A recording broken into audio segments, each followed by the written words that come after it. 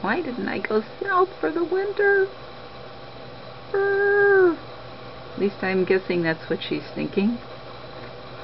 Happy March 2nd.